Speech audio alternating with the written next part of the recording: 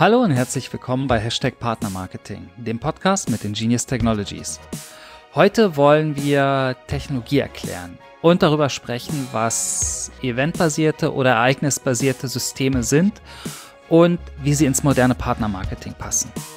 Mein Name ist Tobias Rast, ich bin Senior Manager Customer Success und das ist heute mein Gast.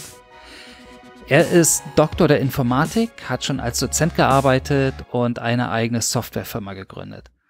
Seit 2016 ist er bei Ingenious, mittlerweile als CEO. Er sagt, er konzipiere und entwickle Software mit modernsten Technologien, die komplexe Anwendungsfälle intuitiv umsetzt. Diesen Podcast wollte ich unbedingt mit ihm aufnehmen, denn ich kenne niemanden sonst, der so ein Technologiebrain ist und gleichzeitig das Partnermarketing denken kann. Ich freue mich. Herzlich willkommen, Siama Kashimi. Danke, Tobias. Äh, das waren jetzt Vorschusslobbeeren, äh, denen ich gerecht werden muss. Äh, ja, freut mich sehr, in diesem Podcast zu sein, in deutscher Sprache diesmal. Und freue mich sehr über das Thema, weil ich habe herausgefunden, dass unsere Partner-Marketing-Community der Technik nicht abgeneigt ist. Absolut. Genau deswegen entstand ja auch unsere Idee, uns einfach mal zusammenzusetzen und Technologie zu erklären. Ähm, ich will mal direkt einsteigen. Wir als Nutzer oder Anwender sehen ja immer nur das Frontend, irgendwelche Buttons, irgendwas, wo sie klicken können und den Bildschirm. Und was im Hintergrund passiert, ähm, das ist zwar versteckt, aber das ist ja die Basis und oft mindestens genauso spannend und wichtig zu wissen. Und deswegen wollen wir heute über etwas, was eigentlich tief im Keller der Technologie passiert und die Basis legt, äh, äh, sprechen. Und zwar über Events. Und ich will jetzt dich nicht fragen, was ein Event ist, weil eigentlich ist es klar. Eigentlich ist ein Event alles, was äh, ein, jemand benutzt oder was jemand macht und dann speichert. Ähm, die Frage, die ich an dich habe, ist aber, wenn ich jetzt etwas konfiguriere, einrichte oder speichere, dann steht das doch in der Datenbank. Warum gibt es denn überhaupt die Idee der eventbasierten Systemarchitektur? Okay. Ähm, ich würde nicht sagen, dass ganz klar wäre, was ein Event ist. Und ich glaube, wir müssen, und Cass, du hast mich angekündigt als Dozent, äh, jetzt muss ich den Dozent rauslassen. Vor einer Definition kann ich leider nicht anfangen. Ähm, ich würde kurz mal sagen, was für mich ein Event ist. Also wir haben ja beispielsweise gesehen, äh, im 2020 sind ganz viele Events abgesagt worden äh, wegen Corona. Die meine ich nicht. Ähm, äh, Events äh, sind für uns im System ähm, fachliche Ereignisse, ähm, fachliches Ereignis äh, ähm, könnte beispielsweise sein, wie du gesagt hast, jemand hat bei sich ähm, in den Einstellungen etwas geändert oder im Partner-Marketing-Kontext ist das, jemand hat einen Einkauf durchgeführt oder hat irgendwo geklickt oder hat sich ähm, ein, ein Banner angeguckt. Ähm, das alles äh, ist ein Ereignis und ein Ereignis selbst ähm, beschreibt äh, in der Vergangenheitsform, das ist auch sehr wichtig bei einem Ereignis, was passiert ist. Das heißt, wir reden über Fakten, die unumkehrbar sind, weil ja die Zeit, wie wir wissen, immer voranschreitet. Ähm, man darf das auch so sehen wie eine Buchung in der Buchhaltung. Ähm, man würde eine Buchung, die man äh, macht, nie löschen. Dafür käme man mit einem Fuß ins Gefängnis, sondern man würde die Gegenbuchung machen. Das heißt, Fakten aus der Vergangenheit sind ähm, nicht mehr änderbar. Ähm, der ein oder andere kann sich das auch einfach vorstellen, wie zum Beispiel sein Lebenslauf. Sobald du dein Abi hast ähm, und dann dein Studium machst oder deine Ausbildung, ähm, dein Abi und das es in deinem CV ist, wirst du nicht mehr los. Das ist Teil deiner, deiner Geschichte und dieses Ereignis, ein Abi haben, ähm, repräsentieren wir im Partnermarketing-Kontext als Ereignis. Das ist das, was wir mit oder ich mit Ereignis meine. Deine Frage war jetzt, ähm, wie äh, nach dem Warum, ja. Es ist, du hast es vollkommen richtig beschrieben. Wenn ich äh, eine Änderung an einem System mache und speichere, sie in der Datenbank und dann hat sich das Thema eigentlich erledigt. Ähm, jetzt ist, jetzt gibt es viele Systeme, die sich über Jahre hinweg ähm, so äh, verändern, dass sie sagen, immer dann, wenn.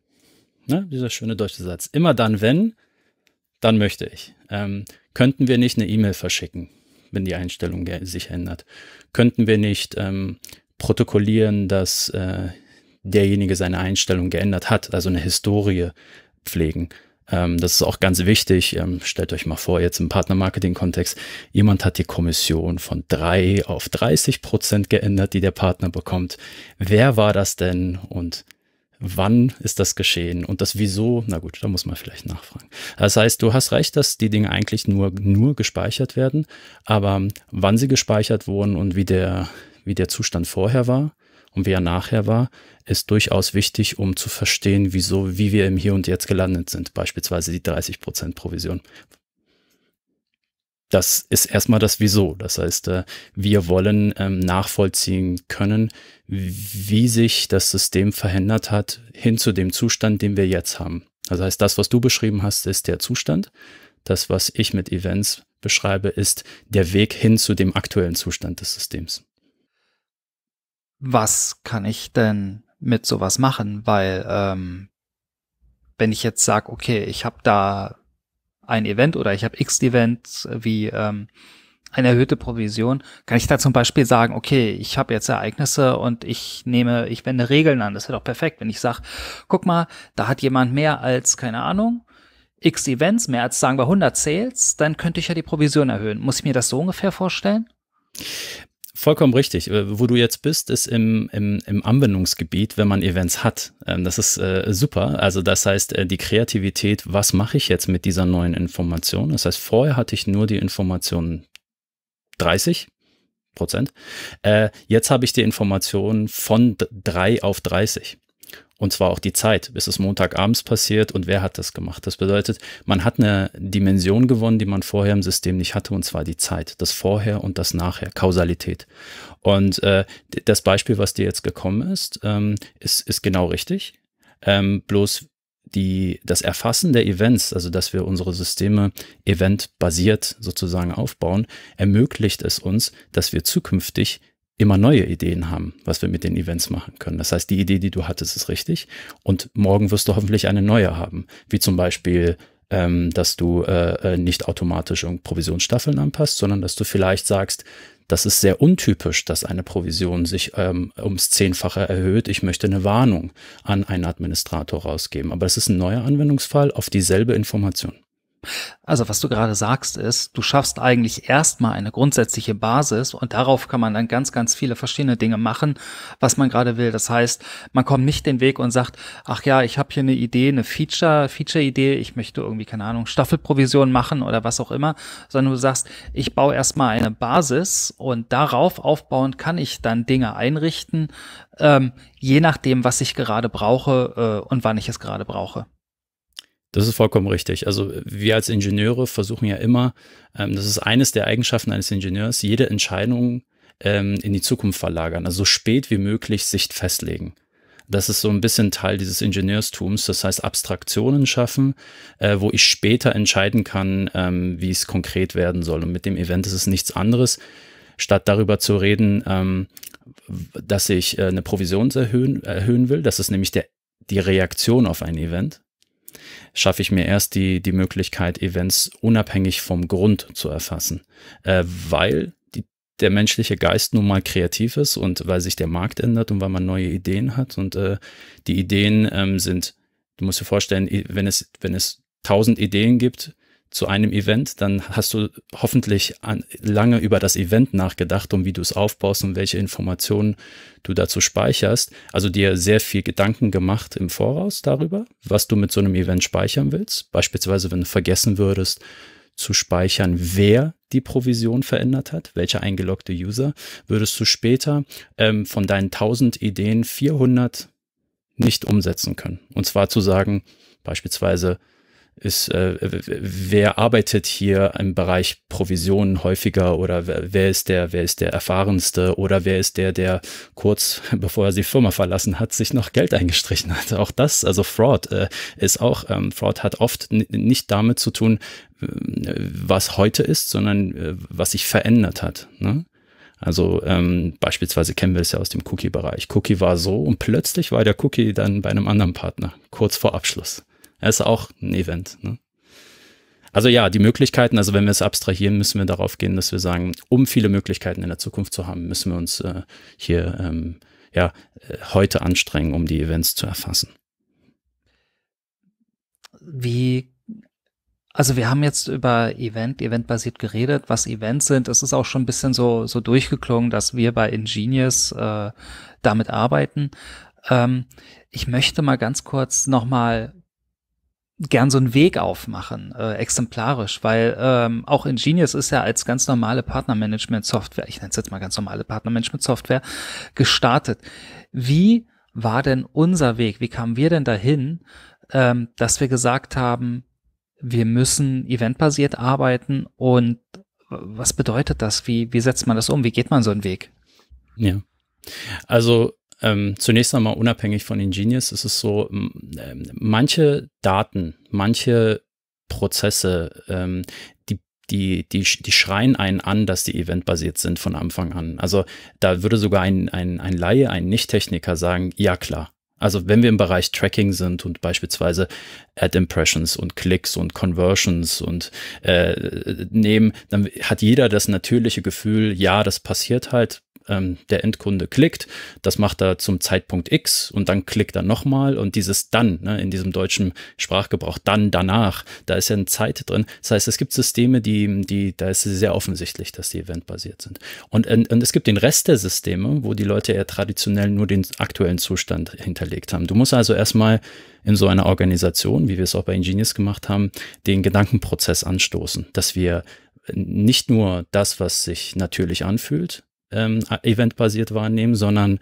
im Extrem alles eventbasiert ähm, äh, wahrnehmen. Extreme sind natürlich immer ganz schlecht. Das heißt, du solltest sich, dich konzentrieren auf die Dinge, die ähm, Wert haben für dein Business. Im Partnermarketing ist ganz klar, ich habe ein Beispiel gebracht mit den Provisionen, aber es gibt noch ähm, 100, also 100 ist untertrieben, weitere Beispiele, die, ähm, die wichtig sind. Ich erinnere daran, dass zum Beispiel Conversions ähm, validiert werden, Nachbuchungen gemacht werden und das, das verändert sich ja ständig in so einem Partner-Marketing-System, in, in einem Netzwerk eines Partners, eines, eines äh, Betreibers, ist eigentlich ständig was los. So.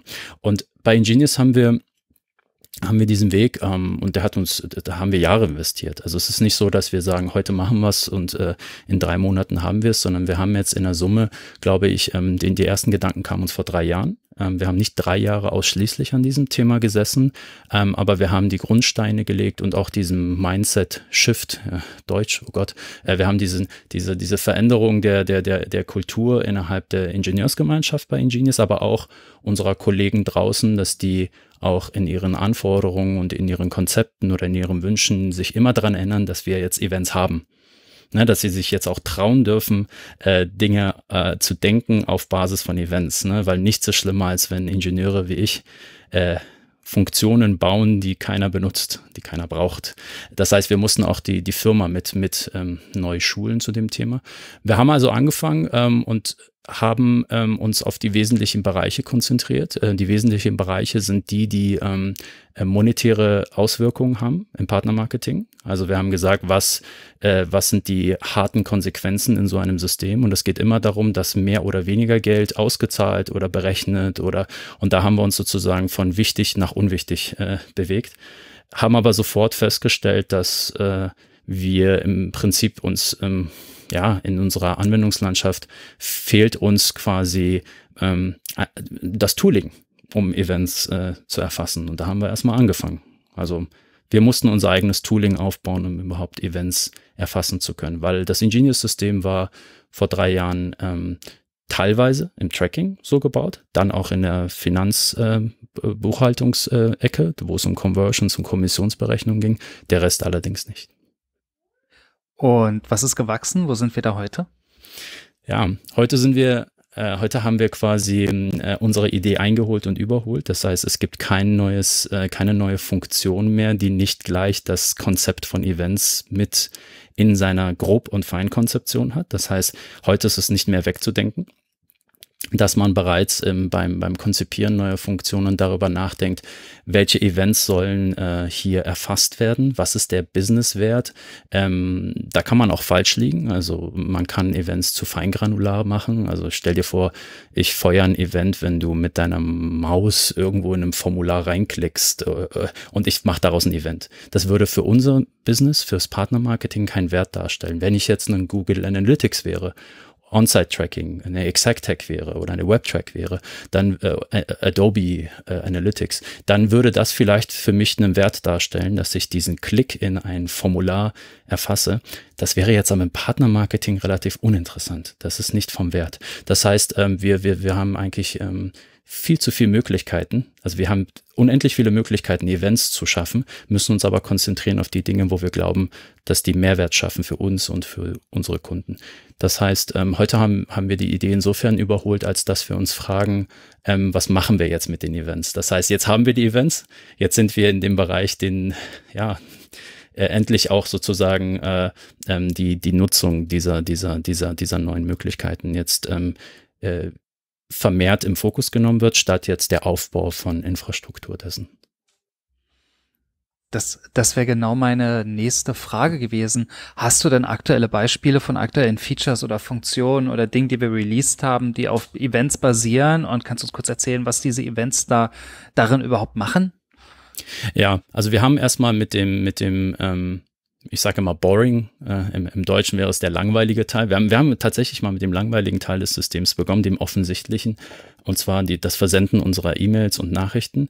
Das hat sich angeboten. Die waren, äh, die waren nicht ereignisbasiert, aber sobald wir diese Ereignisinfrastruktur hatten, bot es sich an, äh, unsere Nachrichten, äh, Newsletter-Versand und äh, Co. zu ähm, ändern.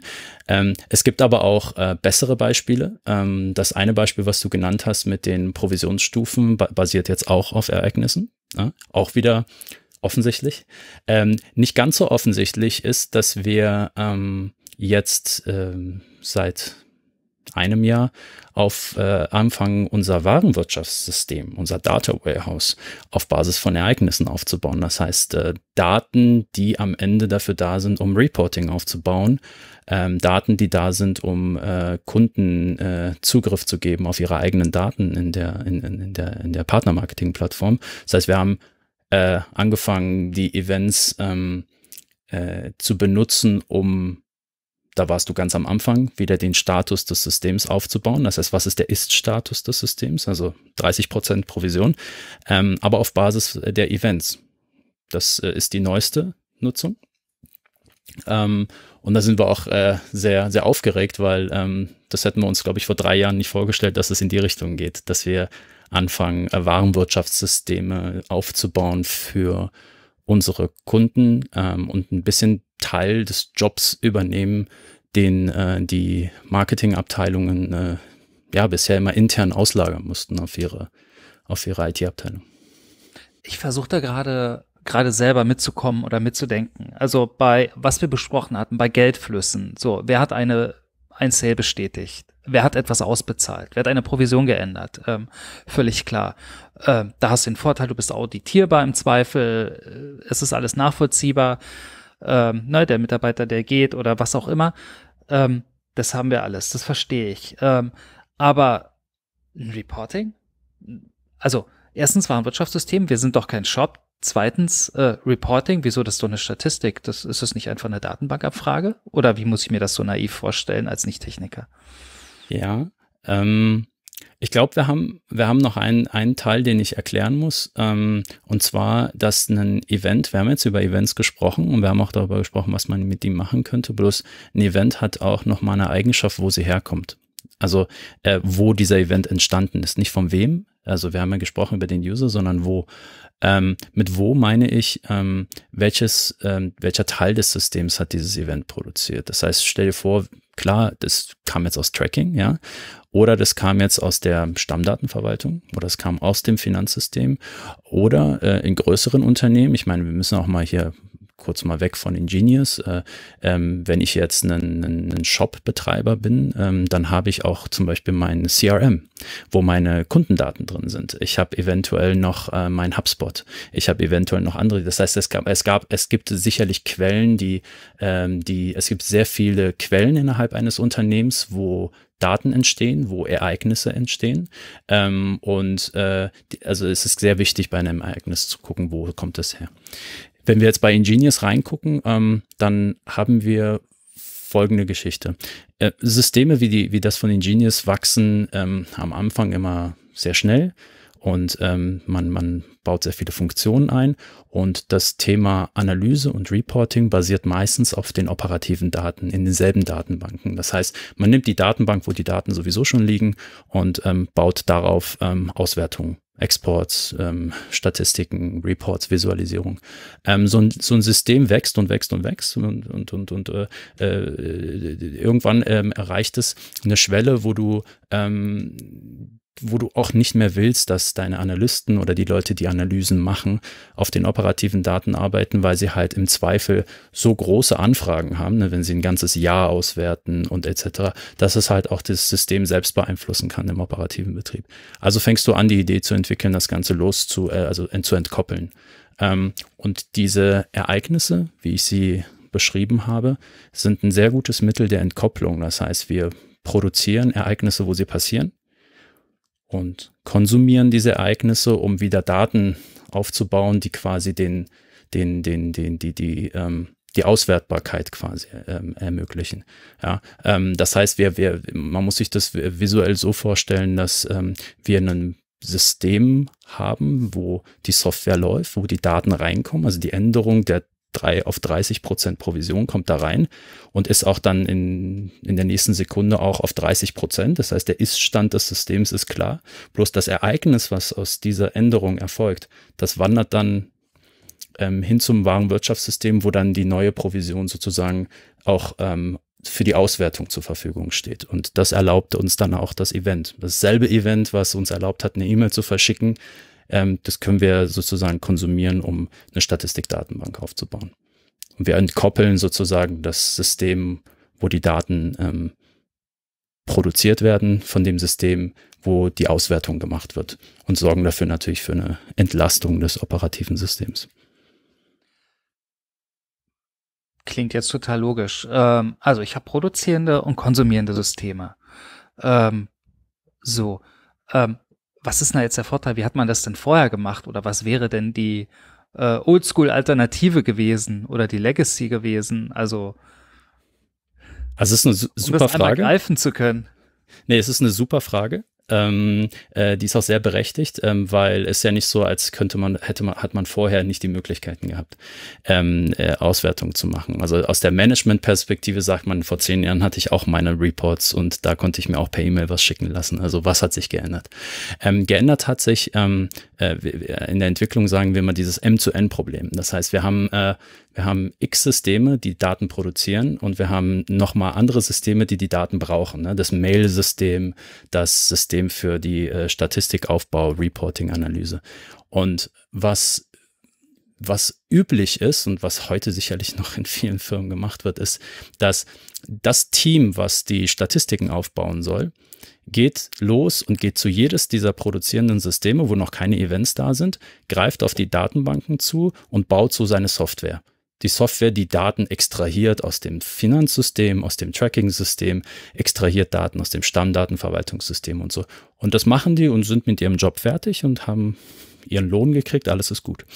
Jetzt kommt das nächste System, ähm, das beispielsweise das E-Mail-Versendesystem. Und was das tut, ist, es fängt wieder von neu an und geht auf, dies, auf das Quellsystem, auf alle Quellsysteme, auf Tracking, auf Finance, auf Stammdatenverwaltung und Co. Und dort sitzt ein anderes Team und das macht dann denselben Job. Was wir am Ende haben, ist ein Spaghetti-Monster von äh, individuellen Integration zwischen Subsystemen, ähm, wo jeder quasi immer wieder zurück zur Quelle muss, um sich dann in seine Daten zu ziehen. Das wäre erstmal ein organisatorisches Problem, wo man sagt, na gut, ähm, muss man mehr Leute einstellen oder müssen die mal miteinander reden, das kriegen die schon hin. Ähm, schwierig wird's, wenn man die Fachlichkeit mit einbezieht. Das heißt, ähm, wenn ich äh, meine, meine Statistik ähm, aktuell halten will, mein, mein Reporting-System, wie häufig muss ich denn im Tracking abfragen? Wie häufig muss ich denn im Finance oder im Stammdatensystem, wie häufig ändern sich denn dort die Daten? Das heißt, soll ich die Stammdaten einmal pro Sekunde abfragen oder ist es zu gewagt, weil sich Stammdaten eigentlich nie ändern, beziehungsweise selten ändern? Soll ich im Tracking einmal pro Sekunde oder wird das Tracking-System belastet, wenn ich einmal pro Sekunde frage? Darf ich da nur einmal am Tag abfragen? Das heißt, diese ganzen versteckten Komplexitäten äh, sind in jeder dieser Integrationen eingebaut. Und ähm, diese Entkopplung ähm, sorgt letztlich dafür, dass Verantwortung in die Hand derer gegeben wird, die auf den Daten sitzen. Also wir haben ja vom Produzenten und Konsumenten gesprochen. Statt dass die Verantwortung, die Daten in das System zu kriegen, beim Konsumenten ist. Das heißt, lieber Konsument, ich habe hier ein paar Datenbanken, du kriegst die Datenbankverbindung, also Passwort, Benutzername, Passwort, hol dir deine Daten. So, und es kann sein, dass ich jederzeit meine Datenstruktur ändere. Also ich schmeiße eine Tabelle weg oder ich füge eine neue Spalte hinzu oder äh, früher hieß äh, der Vorname des äh, Users hieß Prename, jetzt heißt es nicht mehr Prename, sondern nur Name. Ja, habe ich dir vergessen zu sagen. Tut mir leid, dass deine Integration kaputt gegangen ist, aber letzte Woche haben wir an unserer Datenbank was geändert und äh, ja, sorg mal dafür, dass du dich da anpasst. Und jetzt muss man sich überlegen, in großen Unternehmen sind das zig Integration. Ähm, wir verschieben also die Verantwortung oder haben früher die Verantwortung verschoben auf den Konsumenten. Ähm, was wir jetzt tun mit den Events, ist die Verantwortung beim Produzieren, beim Produzenten zu lassen. Das heißt, der Produzent ist verantwortlich dafür, Daten zu produzieren, in diesem Fall Events, und auch die ähm, Kompatibilität einzuhalten. Das heißt, wenn ich etwas an den Events ändere, dann ähm, produziere ich ja eine andere Art von Event und bin dann verantwortlich für meine Konsumenten, weil ich der Produzent bin. Ähm, das schafft Vorteile, vor allem auch in dem Beispiel der Häufigkeit. Ne? Also wenn ich nur ein Ereignis veröffentliche, wenn jemand seinen Vornamen geändert hat, nur in dem Moment, dann muss nicht, müssen nicht 20 Systeme mich einmal pro Sekunde fragen, ob sich der Vorname geändert hat, sondern ich sage den anderen, wann sich ein Vorname geändert hat. Das ist ein signifikanter Unterschied in der Kommunikation. Das kann man auch zwischen Menschen so sehen. Also wenn ich, wenn ich dir, wenn ich dir zehnmal am Tag eine E-Mail schicke und sage, wie geht es dir, Tobias? Und du musst immer antworten, gut. Ähm, oder wir vereinbaren, dass du mir Bescheid gibst, wenn es dir mal nicht so gut geht und bis dahin gehe ich davon aus, dass es dir gut geht. Dann haben wir in der Kommunikation eine Vereinfachung, statt dass ich dich zehnmal am Tag fragen muss. Es ist sehr einfach zu verstehen, glaube ich. Dieses Beispiel, was du gerade gesagt hast zwischen Produzenten und Konsumenten, das erinnert mich eins zu eins an eine Praktik, die ich kenne, sowohl von Publishern als auch von Agenturen, die Reporting-Tools bauen. Ähm, die haben einfach oft mehrere Netzwerke oder mehrere Technologien oder mehrere Quellen, wo, wo Reportings anfallen. Und da gehen sie dann hin und holen sich die Daten, damit sie ein konsolidiertes Reporting haben. Und das machen sie automatisiert. Und weil ja irgendwann jemand kommen könnte und Sales bestätigen könnte, ähm, oder irgendwie validieren, Teilstone oder irgendwas, kommen sie jeden Tag und rufen für jeden Partner oder für jeden Adspace die letzten drei Monate oder sechs, äh, sechs Monate jeden Tag ab, weil es könnte sich ja was geändert haben.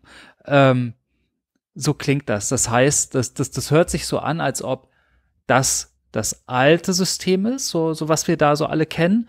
Und dass es doch eigentlich viel schlauer wäre, wenn, wenn diese Systeme einfach nur, guck mal hier, hier gibt's ein Update. Äh, ne, hat gerade jemand bestätigt, hier sind die neuen Zahlen und den Rest kannst du so lassen. Muss ich mir das so vorstellen? Korrekt. Also ähm, ähm, eigentlich sollte ich dem nichts hinzufügen. Äh, 1 plus äh, im Verständnis, Tobias. Ähm, die, äh, die Sache ist die, äh, die Kommunikationsform äh, zwischen zwei Systemen ist, ähm, es ist eine Kunst für sich und äh, wir reden dort ähm, zwischen Push und Pull und wer holt sich die Daten, wer sagt wem Bescheid. In deinem konkreten Beispiel, was du genannt hast, dass ähm, Partner, Publisher ähm, darüber Bescheid kriegen wollen, ob sich äh, Transaktionen oder Conversions geändert haben, sind sie tatsächlich an diesem Zwischenzeit gar nicht interessiert, äh, wo sie äh, fünfmal pro Stunde oder einmal pro Stunde abfragen, wo sich nichts geändert hat. Ne? Ähm, unabhängig davon, dass das äh, ineffizient ist und Regenwälder zerstört, äh, dass man äh, quasi da ständig abfragt und Energie verbraucht. Äh, was im Partnermarketing, wir sind nicht groß genug, um relevant zu sein, dass wir Urwälder zerstören, aber ja, ich denke, es ist halt so, es ist ineffizient. Das andere ist allerdings, dass ähm, es einen richtigen Businesswert haben kann. Wenn wir jetzt so an Cashback-Systeme denken, die relativ früh ihrem Endkunden Bescheid geben wollen, dass zum Beispiel ein Einkauf auch erfasst wurde, dass der Cashback ähm, sozusagen im System liegt, dann ist die Zeit ähm, zwischen dem, wann es beim ähm, Advertiser bestätigt wird ähm, äh, und der Zeit, bis es der Endkunde sieht, schon relevant, weil wir ja alle verwöhnt sind von Amazon und irgendwelchen Push-Nachrichten auf unseren Handys, dass die Zeitkomponente mittlerweile eine eine große Rolle spielt und Endkunden sind ungeduldig und wollen schnelles Feedback haben. Und wenn wir uns jetzt so ein System vorstellen, wie du es genannt hast, dass man regelmäßig abfragt, da fragt man sich auch, wie häufig soll denn jetzt dieses Cashback-System alle Netzwerke abfragen? Es müsste das sekündlich tun, damit es diese Nachrichten kriegt. Und da gibt es bessere Kommunikationsformen. Ähm, und du, du hast vollkommen recht, dass es einfacher wäre, wenn man ähm, letztlich nur äh, die, die Dinge, die sich geändert haben, ähm, ähm, mit, mit mitteilt ähm, und die Sicherheit auch den Konsumenten, in diesem Fall den Partnern gibt, dass sich, ähm, wenn hier kein Ereignis kommt, dann hat sich auch nichts geändert. Das heißt, man muss nicht drei Monate, sechs Monate in die Vergangenheit und gucken, ob da noch irgendein Sale äh, bestätigt oder abgelehnt, teilstorniert wurde. Das hätte einen großen Vorteil. Ja. Ähm, verstehen aber auch letztlich die, die ähm, die Integration machen mussten ähm, oder beziehungsweise die, die in der Integration mit einem Netzwerk auf den Bereich von unter fünf Sekunden kommen wollten. Ja, dass dann andere Mechanismen nötig sind. Hm. Ja, richtig. Ähm, wie muss ich mir das denn, nee, ich überlege gerade, äh, ich suche gerade nach Beispielen, also wer damit arbeitet. Ähm, und die erste Frage ist, arbeiten wir nur bei Ingenious intern damit, also unsere Systeme, dass sie sagen, ach, guck mal hier, ich greife da auf Events zu. Ähm, und wenn ja, wie, wie machen wir das? Und zweite Frage ist, machen das denn auch Externe oder haben das auch schon Externe gemacht von uns? Haben das auch schon Kunden gemacht? Äh, und wie sieht das aus? Oder wie, wie sah das aus? Ja, also diese Ereignisse, ähm, die tragen ja Daten mit sich. Ne? Wir haben ja schon ein paar Metadaten besprochen. Wo wurde es produziert? Wann wurde es produziert? Vielleicht welcher User stand in diesem Kontext? Es könnte auch ein, ein API-Key gewesen sein, also kein Mensch, sondern eine Maschine, die dieses Ereignis letztlich ausgelöst hat. Ne? Also wir müssen uns ja auch davon trennen, dass es nur UI ist. Ähm, wir haben also diese, diese Daten, diese Metadaten. Wir haben aber auch echte Nutzdaten. Ne? Also das Beispiel war von 3% Provision auf 30%. Diese Daten, die würde ich nicht mehr Metadaten nennen, das sind die eigentlichen Änderungen, die es gab. Nicht, äh, ähm, und äh, Ereignisse sind, ähm, sind nicht sehr komfortabel, um vom Menschen ähm, äh, äh, abgefragt zu werden. Also keiner äh, öffnet äh, quasi die Box und guckt sich die ganzen Ereignisse an, während sie dadurch so durchrauschen. Ne? Also das ist nicht die für die Menschen die, die, die, die einfachste Art und Weise, sich Ereignisse anzugucken, sondern wichtig sind ähm, nicht die Ereignisse selbst, sondern ähm, das, was in die, wo diese Ereignisse reinfließen sozusagen, wenn sie erstmal vom Produzenten kommen, wie sie für Menschen aufbereitet werden. Und da hatte ich ja das Beispiel gebracht von ähm, Reporting-Systemen, von E-Mail-System. Und deine Frage war ja, haben das Externe benutzt? Ja, ähm, unsere Kunden ähm, haben es äh, in komplizierten Integrationen, wie den von beispielsweise Belboon, ähm, um, um nur eine zu nennen, ähm, haben sie diese, dieses, diese Methodik der Events genutzt, um Systeme synchron zu halten. Das bedeutet, ähm, ähm dass das Belboon-System und das Ingenious-System liefen ja eine ganze Weile parallel nebeneinander. Und ähm, unabhängig davon, wie Tracking umgesetzt wurde, waren auch sehr viele Änderungen im Belboon-System, ähm, die im Ingenious-System landen mussten. Äh, und zwar eine Sekunde nachdem sie geschehen sind, weil wir hatten natürlich eine sanfte Migration, von der niemand was mitkriegen sollte, außer dass es eine neue Oberfläche gibt, eine neue Maske gibt oder neue APIs gibt. Ähm, aber die ähm, Partner und Advertiser, die migriert wurden, die sollten natürlich sich sicher sein, dass da, wenn sie im alten System was ändern, es landet, also dass es im neuen landet. Und da hatten wir uns sehr hohe Anforderungen gesetzt. Wir hatten gesagt, Sekunden, wenige Sekunden soll es dauern.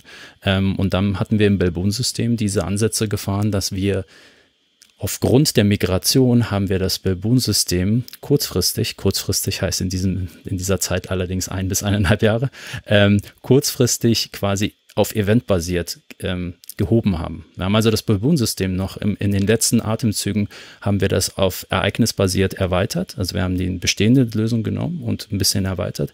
Wenn ich wir sage, meine ich natürlich die Ingenieure von Belboon. Und diese Ereignisse wurden dann verwendet, um bei Engineers API-Calls zu machen. Zum Beispiel, um die Stammdaten zu ändern, um einen neuen Advertiser anzulegen oder einen neuen Partner anzulegen oder die Provision zu ändern oder eine Conversion zu stornieren.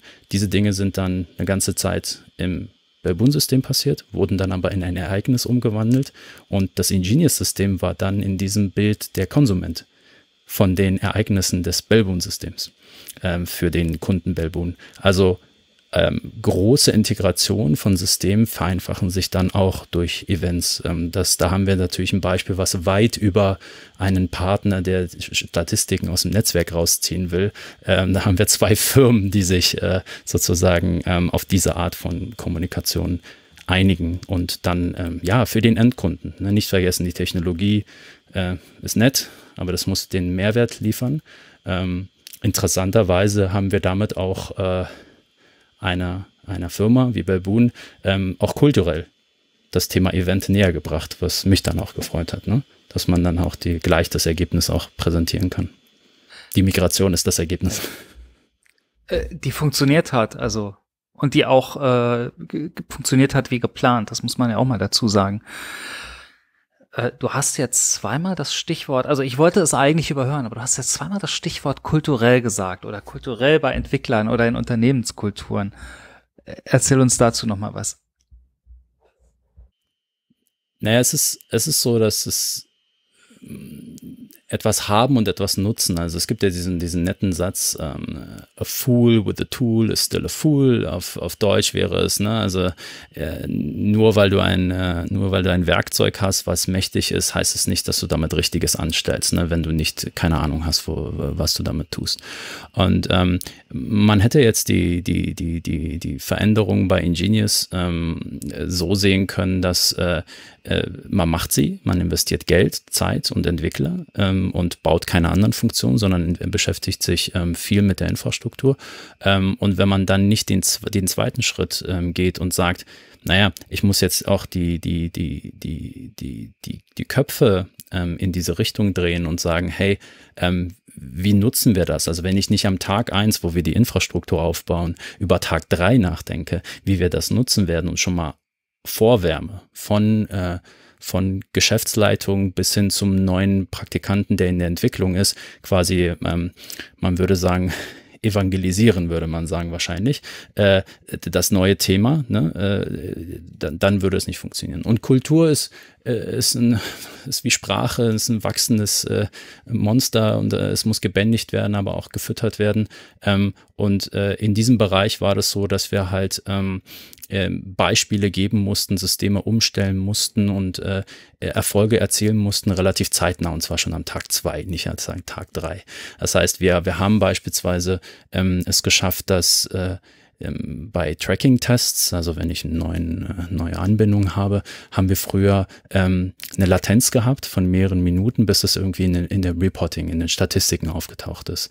Ähm, und das ist natürlich ähm, ein Frustmoment, wenn man einen Tracking-Test macht und sagen will, hat das funktioniert, dann kann man sich einen Kaffee nehmen und kommt wieder und das Ganze ist sehr schleppend. Und wir haben das runtergebracht auf, auf, auf ähm, ich glaube, wir sind jetzt künstlich auf eine Minute. Wir könnten auch auf Sekunden drunter, aber es interessiert keinen mehr, weil wir halt von vielen, vielen Minuten runter sind. Und das, das hat der, der Firma ähm, sozusagen äh, ähm, eine Perspektive nach vorne gegeben. Das hat diese kulturelle Veränderung auch äh, ähm, ähm sozusagen angefeuert.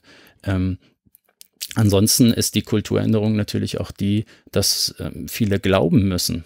Also Glaube heißt, äh, scheiße, dieses Jahr werden wir da vielleicht noch nicht die großen Effekte sehen, sondern es ist nächstes Jahr so. Also dieser langfristige Blick eines Produktanbieters wie Ingenious, der leider, muss ich sagen, es gibt ja auch Vorteile, nicht wie eine Softwareagentur von Projekt zu Projekt geht und ähm, im Prinzip nach dem vierten Projekt schon nicht mehr weiß, was das erste Projekt eigentlich für eine Architektur, für eine Technologie hatte, weil man es an den Kunden übergeben hat. Hier ist es so, dass die Entwickler jetzt seit ähm, acht Jahren teilweise ähm, dieselbe Software betreiben und ähm, sehr nachhaltig äh, arbeiten müssen. Und da fängt man, da ist die reine Technologiefokus ähm, 20 Prozent der, der Aufgabe. 80 Prozent der Aufgabe sind die Menschen drumherum, die man ähm, begeistern muss, äh, motivieren muss, äh, empowern, was wäre das deutsche Wort, ermächtigt, ähm, halt auch zu experimentieren. Ähm, das heißt aber auch Fehler zu machen oder auch zu scheitern oder mal eine Idee zu haben, die zu nichts führt, äh, ohne gleich ähm, mit den Euros und den Dollars, die entgangen sind, sozusagen äh, zu argumentieren, dass dieses gescheiterte Experiment uns nicht vorangebracht hat. Das heißt, es ist eine ganze kulturelle Shift, der nötig ist. Ähm, jetzt kamen wir von Events, ähm, zu diesem großen und abstrakten Thema Kultur. Äh, ich denke aber, dass Events für Ingenious im Nachgang ähm, ein Aufhänger waren, ein Symptom dessen, wie wir uns verändern wollten, hin zu Schnelligkeit, hin zu mehr Möglichkeiten, in, ähm, auch im Partnermarketing zu zeigen, was noch möglich ist.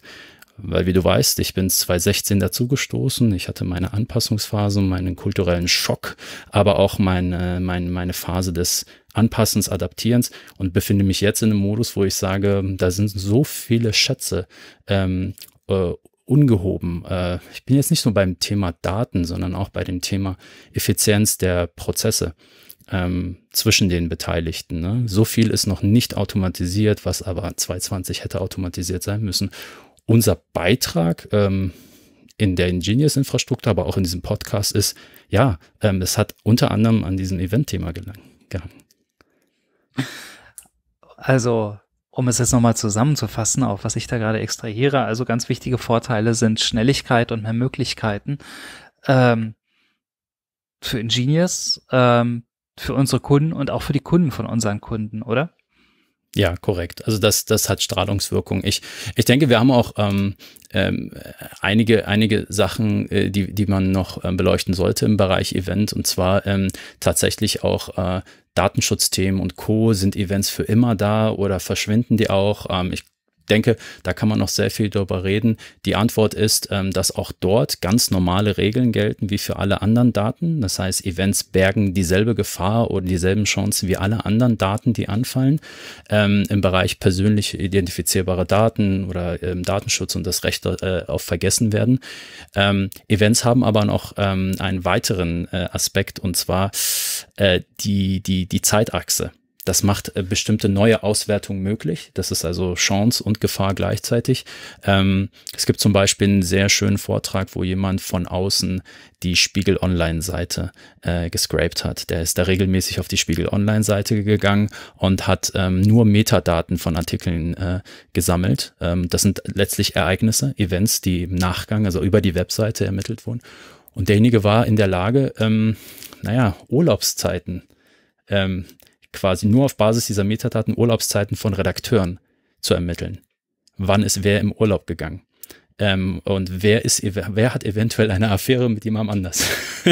äh, weil um 23 Uhr noch im Büro gesessen und Artikel geschrieben. Also, ähm, was ich sagen will, ist, das ist eine große Verantwortung. Ähm, wir bei Ingenious haben zum Glück den Vorteil dieser Datensparsamkeit. Also wir, wir wissen ganz vorne beim Produzenten, ähm, dass so wenig wie möglich Daten letztlich reinkommen. Da haben wir dann ähm, eine großzügige Auswertmöglichkeiten im Hintergrund. Ähm, müssen aber auch immer aufpassen, wie viele Metadaten letztlich in diesen Events stecken. Das, das ist der eine Aspekt. Der andere Aspekt ähm, bei den Events ist sicherlich, ähm, sollte man es tun oder nicht tun, wenn man jetzt gerade noch vor dem Schritt steht, dass man noch keine Events im System hat und letztlich aber sieht, nachdem man vielleicht auch diesen Podcast gehört hat, ja, das ist eigentlich unser wiederkehrendes Problem.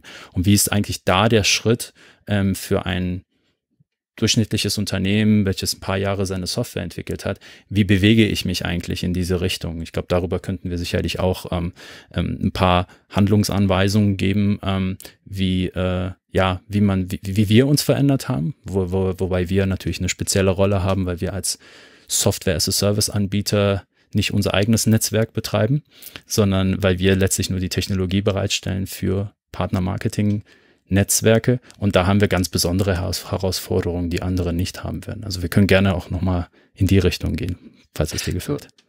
Du hast, ne, du hast gerade einen, einen Punkt schon so, so gestriffen und das war auch eine Frage, die ich so im Kopf hatte. So, wenn ich jetzt irgendwie mit Engineers zu tun habe, direkt oder indirekt und sag, oh ja, äh, Event oder eventbasiert, äh, super Thema, wie komme ich daran?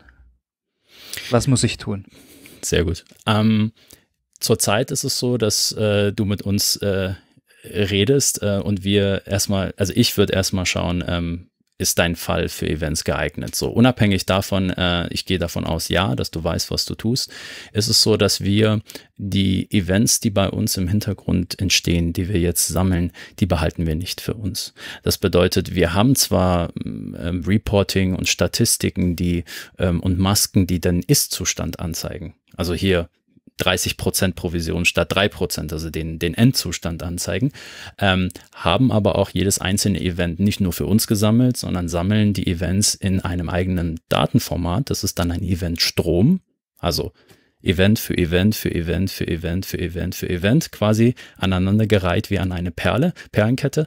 Ähm, diese Daten schmeißen wir nicht weg, sondern diese Daten stellen wir auch zur Verfügung, ähm, dass man äh, nicht nur sagt, das, was ist es denn jetzt, sondern auch letztlich sagen kann, wie ist es dahin gekommen und das als eigenes Datenformat in verschiedenen das, Ecken über API und über Reporting. Ja. Das heißt, ich muss mir das dann so, so vorstellen, so, so als System, wie wenn ich auf einer Brücke stehe und unter mir so ein Bach durchfließt und da, da äh, verschiedene Quietscheentchen dann immer drauf, drauf unter mir durchschwimmen und dann dann genau. kann ich die alle zählen, so ungefähr. Genau, also wir, wir, wir, wir interpretieren, wir haben ja über Produzenten von Events und Konsumenten gesprochen und ähm, haben uns bisher eigentlich nur so ähm, fokussiert, dass Konsumenten wiederum Subsysteme desselben Systems sind. Ja, ähm, dann haben wir darüber gesprochen, dass das auch vielleicht ein externer Partner sein könnte, der Ereignisse konsumiert. Und da gibt es eigentlich keine Einschränkungen. Das heißt, unsere Kunden äh, von Ingenious sind für uns die Konsumenten ihrer eigenen Daten, die wir für sie erfassen und für sie bereitstellen. Das heißt, der, die, die IT-Abteilung unseres Kunden ist, ähm, kann Konsument sein von ihren eigenen Ereignissen, Events, die in ihrem in ihrem Partner-Marketing-System bei Ingenious entstehen.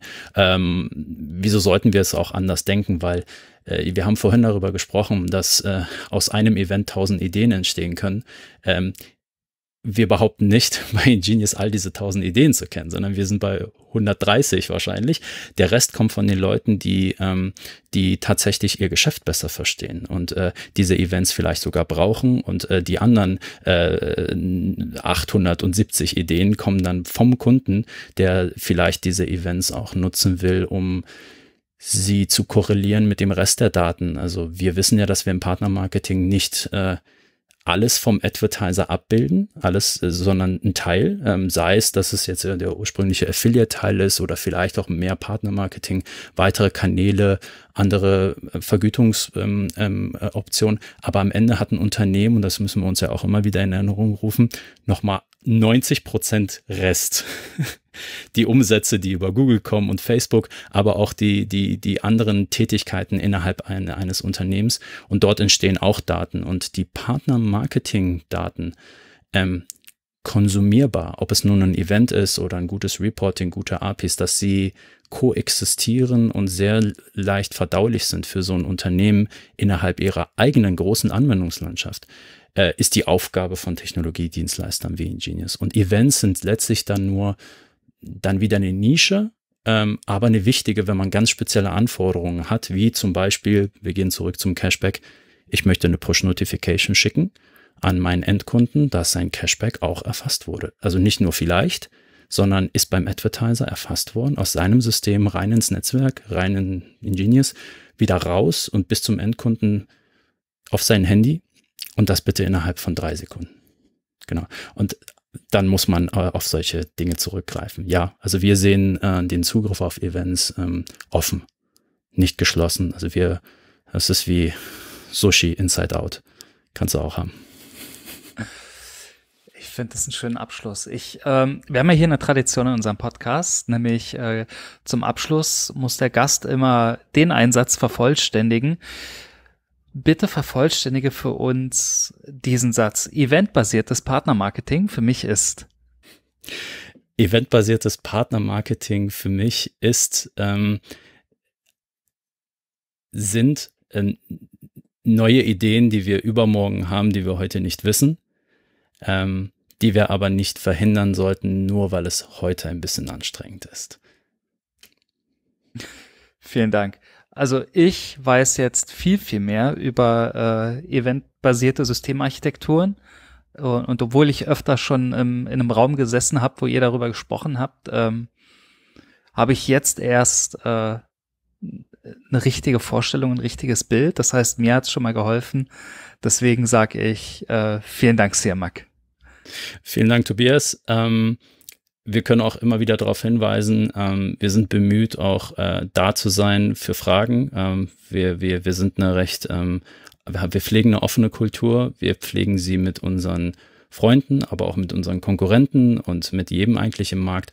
Und falls jemand an dieser Schwelle steht und vielleicht den ein oder anderen Fehler vermeiden möchte in dieser Transformation, äh, vielleicht in Richtung Events, ähm, der kann sich natürlich gerne bei uns, bei mir melden. Ähm, kein Thema. Vielen Dank. Dankeschön. Wenn es euch gefallen hat, dann lasst uns ein Like da oder empfehlt uns weiter. Bis bald. Tschüss. Wiedersehen.